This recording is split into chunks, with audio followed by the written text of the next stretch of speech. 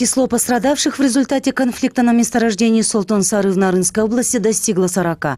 По данным Министерства здравоохранения, в Нарынскую областную объединенную больницу были госпитализированы 19 работников китайской компании. Всех их врачи осмотрели и уже выписали. В отделении травматологии остался один из числа местных жителей. Бишкекский научно-исследовательский центр травматологии и ортопедии за медицинской помощью вначале обратились 19 работников международной компании, позже еще 9. После оказания первичной медицинской помощи они направлены на амбулаторное лечение. Отмечается, что на Султон-Сары дежурят три бригады скорой медицинской помощи. Ну а на встречу с жителями Нарынской области сегодня выехали первый вице-премьер-министр Куатбек Буронов, министр внутренних дел Кашкар Джунушалиев и председатель ГСИН Мелис Тругамбаев. Чиновники правительства совместно с представителями органов местной власти предприняли попытку провести переговоры с жителями региона. Однако сельчане отказались и напомнили им о ранее выдвинутых требованиях. Отметим, накануне у месторождения собрались около 500 человек, которые требовали, чтобы сотрудники китайской компании покинули Солтон-Сары. По словам местных жителей, из-за взрывных работ в горах гибнет скот. Местные чиновники сообщили, что представители компании выразили готовность возместить ущерб, если подтвердится, что падеж скота стал следствием проведения взрывных работ. Но к вечеру после неудачных переговоров между жителями и работниками компании произошло столкновение. Они стали закидывать друг друга камнями. Позже ими была перекрыта трасса Бишкек-Нарын-Торугард.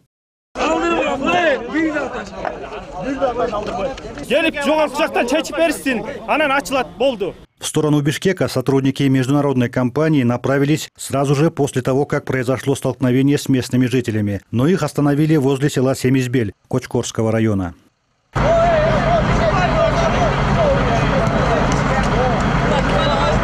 Трасса Бишкек-Наран-Торугард была перекрыта. Если вначале камнями преграждали путь около 20 человек, то не прошло и часа, как их количество достигло 200. Поводом для недовольства, по их словам, послужили две причины – добыча золота в регионе и конфликт, который произошел на месторождении несколькими днями ранее. Свои требования местные жители озвучивали тут же. У нас только одно требование – пусть закроют компанию, которая хочет добывать золото, уничтожая землю. В таких четырех автомашинах находилось около 20 сотрудников компании. Переводчица, которая сопровождала иностранцев, рассказала, что выехали они с месторождения Солтон-Сары. По ее словам, все, кто находится в салоне машины, получили различные травмы, и она везет их в больницу. Я еще ничего не видела. Я долго знаю, надо быстренько в больницу отвезу. Они болеют. Там раненые есть? Там? А? Да. Сейчас надо в больницу отвезем. Эту машину митингующие решили убрать с дороги, как объяснили они, только лишь для того, чтобы она не мешала проезду. К этому времени число людей стало заметно увеличиваться. По мере роста их количества усиливались и их требования. Следственные мероприятия проводятся. Виновные, если вина будет доказана, будут привлечены к ответственности. Поэтому, уважаемые жители Нарынского региона, неправильно перекрывать трассу, мешать движению. Первыми к митингующим прибыли сотрудники правоохранительных органов. Представители районной, областной милиции пытались провести с жителями разъяснительные работы. И только после того, как блюстители порядка пообещали доставить граждан Китая в отделение милиции, чтобы проверить документы, количество митингующих стало заметно уменьшаться.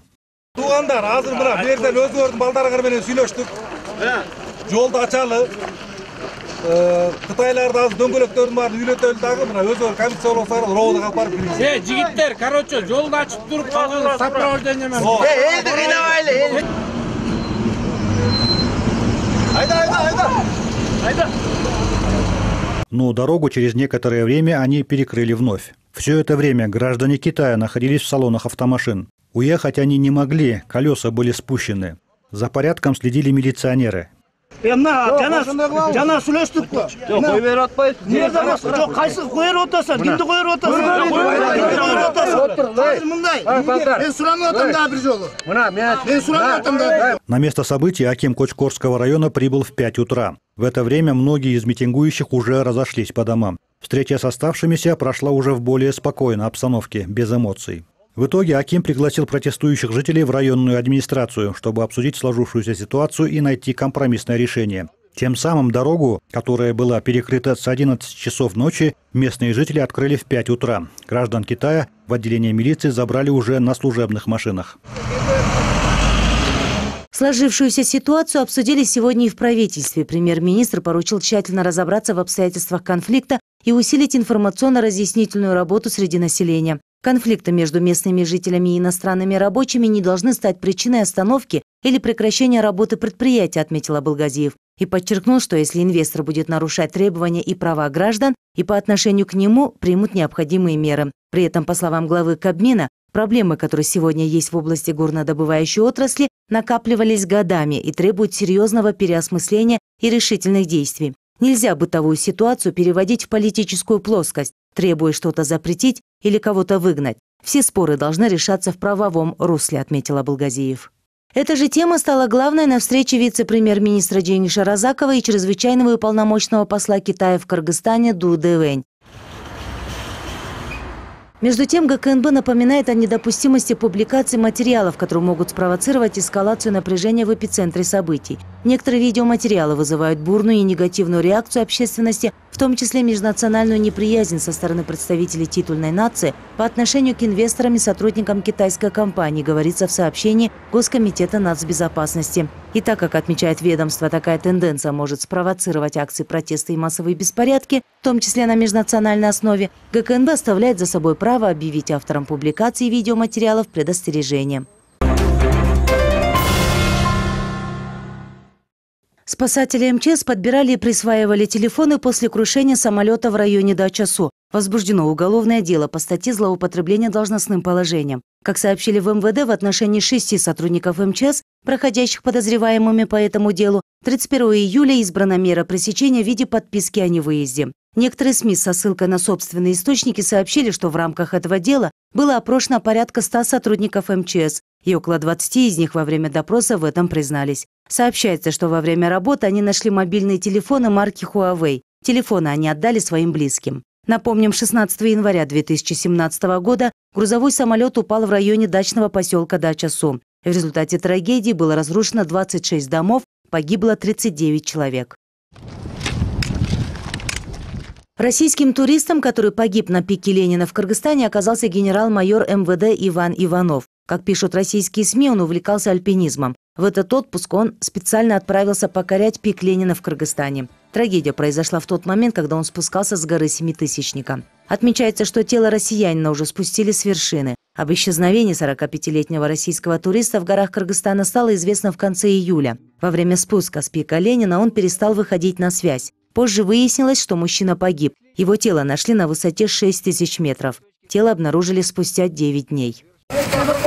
В Наакатском районе произошел пожар на территории сельской управы Куйкджар. Загорелось сухотравие. По предварительным данным, пожар начался примерно в 3 часа дня из-за брошенного окурка от сигареты. Территория используется под стоянку для автомобилей. Жертв и пострадавших нет. Для тушения пожара были привлечены сотрудники сельской управы и местные жители.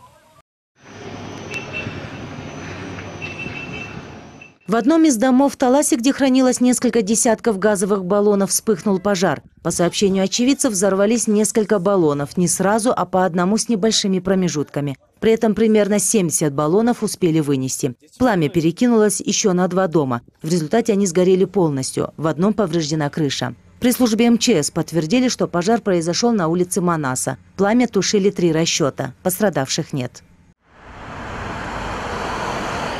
Бишкеке трое мужчин похитили пятилетнего мальчика. Нарушителей удалось поймать благодаря камерам безопасного города. Ребенка везли в Талас. Как сообщили правоохранители, его похитили с пересечения улиц Рыскулова и Тимирязева. Мальчика буквально вырвали из рук женщины. Был введен план перехват. Автомобиль отследили по камерам безопасного города и остановили на посту у ОБДД. Мужчин задержали и передали сотрудникам службы криминальной милиции Бишкека. Как оказалось, пятилетнего ребенка похитил отец, поскольку теща не разрешала поздравить его с днем рождения.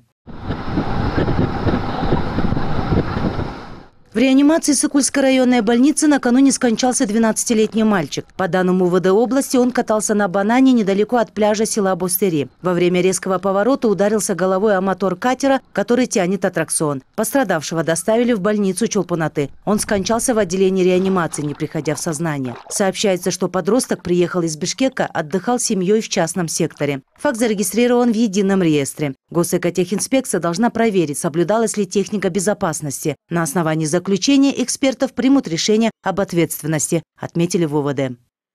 Только за 6 месяцев этого года в дорожно-транспортных происшествиях погибли 36 детей и 828 получили различные ранения. Об этом сообщили в Главном управлении обеспечения безопасности дорожного движения. По его данным, с января по июнь этого года в Кыргызстане всего было зарегистрировано 2825 аварий. По сравнению с прошлым показатель вырос на 17,9%. Больше всего аварий произошло в Баткенской, Таласской областях, в городе Ош. Далее идет Иссыкульская область и Бишкек. С участием детей всего зарегистрировано 710 аварий. Рейсовый автобус Москва. Около двух суток из-за поломки простоял в казахских степях автобус, где находилось 60 пассажиров. Автобус направлялся в Москву из Бишкека. ЧП, как сообщили пассажиры, случился в Туркестанской области Казахстана в ночь на 3 августа. По словам пассажиров, около двух суток им пришлось ждать обещанный транспорт. Все это время они провели на улице. Некоторым удалось разместиться в салоне авто. В результате пассажиры, а большинство из них жители Кыргызстана, выступили с требованием возместить компенсации за моральный ущерб. Введено ограничение на улицах Бишкека. В городе устанавливают дополнительные дорожные знаки, в связи с чем мэрия ввела запрет на движение грузового транспорта по муниципальным дорогам при температуре плюс 28 градусов, опасаясь повреждения дорожного полотна. Ограничение продлится до 1 сентября. Действует с 9 утра до 8 вечера. Так сообщает муниципалитет, временно запрещается движение больших грузных и крупногабаритных автомобилей с максимальной общей массой 25 тонн, с нагрузкой на одну ось 7 тонн. Запрет не распространяется на транспорт, перевозящий людей, груз гуманитарной помощью или груз на основании соответствующих разрешений.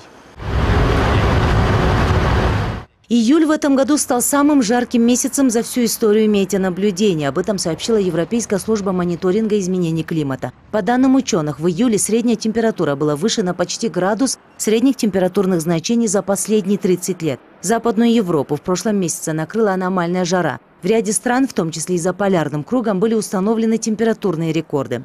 Накануне синоптики сообщили, что в Кыргызстане до 9 августа также продержится аномальная погода. В долинной зоне Чуйской, Баткенской, Ожской, Джалалабадской областей в дневные часы температура воздуха повысится до 38-40 градусов, в Таласской долине до 36-38 градусов.